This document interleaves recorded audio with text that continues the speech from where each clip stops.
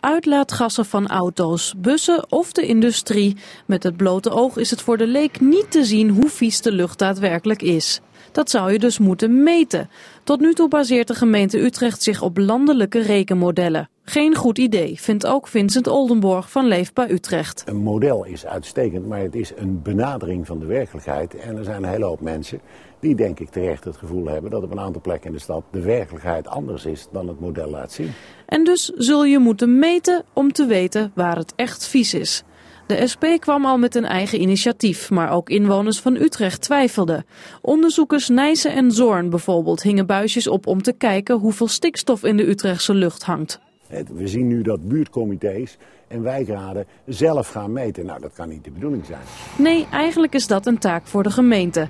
Maar zelf meten, de wethouder voor verkeer en milieu ziet dat tot nu toe niet zitten. Je bent veel geld kwijt voor uiteindelijk hetzelfde resultaat. En uh, ja, dan is dus de reden om het te doen is er eigenlijk niet aanwezig. Als enige van de vier grote steden houdt Utrecht nog vast aan de berekeningen van het RIVM.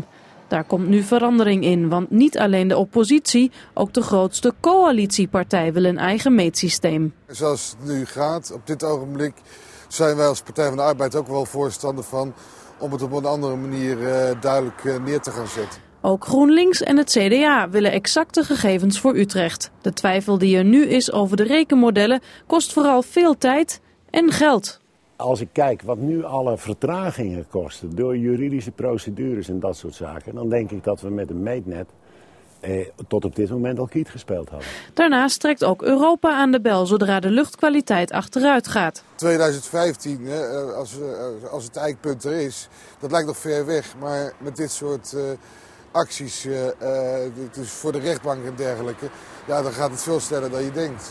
Dat kan wederom gevaarlijk worden voor alle grote bouwprojecten in Utrecht. Tijd dus om al die twijfels weg te nemen en te starten met lokale metingen.